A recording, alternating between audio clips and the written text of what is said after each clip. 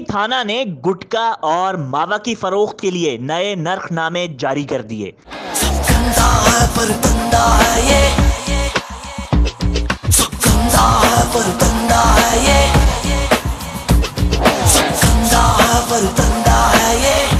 नया थानेदार नए नर्ख और नया शहजादा बीटर अब्दुल्ला जो लक्ष्मी जमा करने का बेड़ा उठाए हुए मुतहरिक है।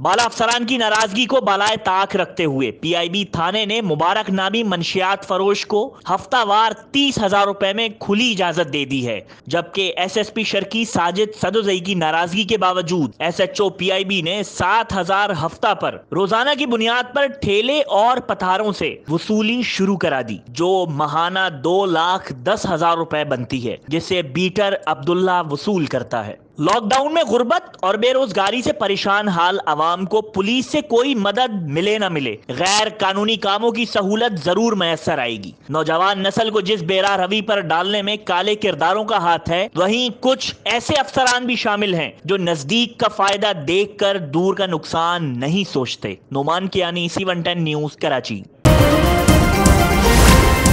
C one ten news, खबर की असल खबर।